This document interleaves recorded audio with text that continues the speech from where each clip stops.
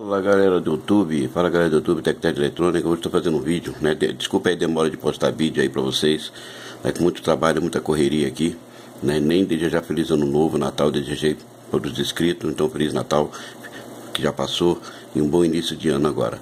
Então, é como eu falo, né? Muitos, tem muitos eletrônicazinhas aí, técnicos aí que ficam postando vídeos de dica na aqui no YouTube, e todo mundo baixa, e aí volta, e só, e só postam já resolvendo o problema né? A televisão já funcionando e fala que é aquilo, é isso.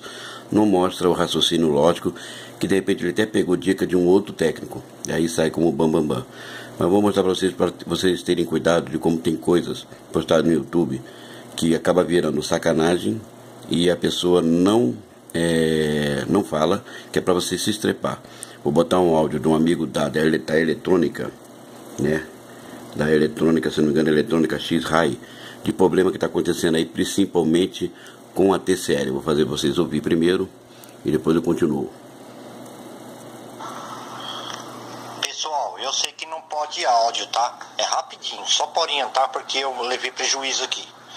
É o seguinte, TCL, não tente adaptar. Se você trocar a placa principal, beleza, você pega lá o ID da placa anterior e você coloca lá no, no, modo de serviço, tudo, fica tudo belezinha. Vamos supor que você adaptou uma tela, qualquer tela aí, ficou de ponta cabeça ou ficou negativa. O que acontece? Você vai ter que entrar no, vai ter que entrar no menu de serviço e lá no ID do televisor para você tirar o negativo ou desinverter. Você vai lá com o controle, cara, tem muito isso no YouTube, estão colocando isso, mas é tudo sacanagem, viu? É tudo neguinho que, que se ferrou. Você entra lá, vamos supor, vou dar um exemplo. Project ID, tá lá 130. Aí você vai lá, você entrou no modo serviço, tá mexendo lá, 131, 132, 133, ou você abaixa, né?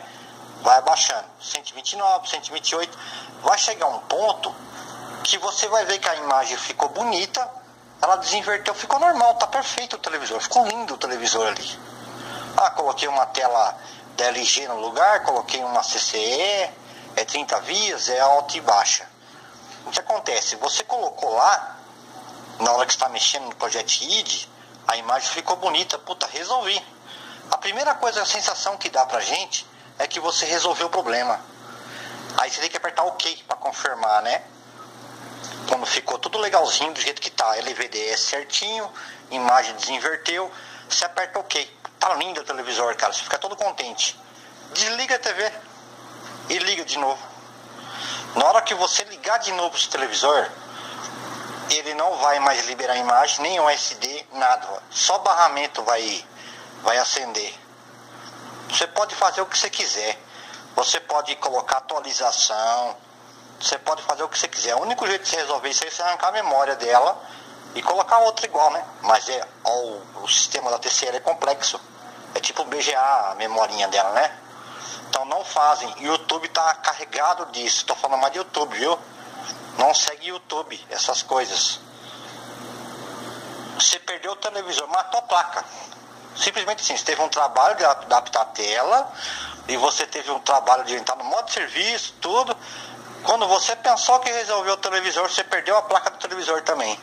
A terceira tá assim. Foi, esse áudio aí, desculpa aí, eu mandei para orientar porque eu passei, matei duas placas, não foi só uma, tá? Eu matei duas placas da 32S4900. Uma é placa única, que era cara, e eu consegui uma que era placa de fonte e placa principal separada, do mesmo modelo, coloquei no televisor, montei de novo e perdi a outra placa. Fique esperto com o TCL, viu? Não adapte tela nem pense em fazer isso. Só trocar a placa principal, beleza. Aí você coloca o ID anterior, é facinho. Tela, nem pense. Então vocês viram aí, né? A única tela que combina com TCL, porque eles usam, se vocês não sabiam disso, né? Quem não quer, sempre fala para estudar, mas quem não gosta de estudar, gosta de dica. Vou falar uma coisa essas placas que TCL usa, né, Filco, a gente chama de placa universal. São placas que servem para dois modelos. Tanto que se você pegar uma placa da TCL e gravar um dado da Filco, vai aparecer o logo Filco e vai funcionar normal, se a tela bater e tudo. Então, a conclusão que eu vejo é que as únicas telas que pode ser usado em TCL e tal é da Filco, de algumas Filco, porque a Filco tem várias versões e tem Filco que usa tela TCL, da TCL, né? Porque a Filco tem várias versões, usa alguma tela que a, que a, que a Toshiba usa, por exemplo, o Shangyong, a Filco usa, aí tem Panda, tem HCK, tem Skywork, também já vi algumas TCL, algumas Filco, né? Tem Skywork, e é Panda, Sangyong, é, HCK, TCL. Então, normalmente é o que dá. Então, tá aí a, a dica do nosso amigo da eletrônica X-Ray, usei o áudio dele aqui. Se ele ouvir, se ele ver, espero que né, ele não, não fique chateado, que acho que é uma, uma, uma dica muito boa. Né? Acho que ele postou em algum grupo que ele faz parte que não deve colocar áudio, por isso que ele fica pedindo desculpa. E colocaram no meu grupo e eu estou passando aí para vocês. Então é como eu falo, vamos estudar, gente. Não vamos viver só de dica, porque às vezes tem dica que dá errado e você se estrepa. Vamos aprender eletrônico para aprender a raciocinar, fazer o raciocínio lógico. Né? Um bom técnico, ele se habilita, ele estuda. Né? Não tem, para tu ver. Não adianta você dirigir carro, mas se você não tem habilitação, né? O que, que acontece? Você, o seu carro é apreendido. Não interessa se você é um bom piloto. Tem que comprovar que fez aula, que tem habilitação, que foi instruído, que sabe as leis, o que pode e o que não pode, né? Então é isso aí, um vídeo curto só para alertar os amigos aí, né, sobre esse problema aí, né? Quem não estava sabendo, está sabendo agora, né, de não ficar seguindo o dica de YouTube, porque é, é pessoal que se estrepou, de repente aí eu falo, ele se estrepou, mas ele mostra só indicando como é que faz no menu, mas não termina de concluir porque essa pessoa de repente já se estrepou com outras TV e quer levar vocês ao erro também. Então fica alerta aí, Tected Eletrônica, deixa o joinha, deixa o seu argumento, que, que achou aí dessa informação e vamos estudar eletrônica.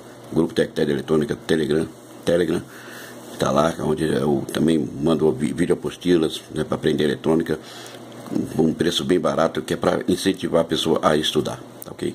Desde a teoria até é, subcondutores, fonte, etc e aprender a conhecer os aparelhos, saber usar as ferramentas para fazer a sua manutenção da maneira correta.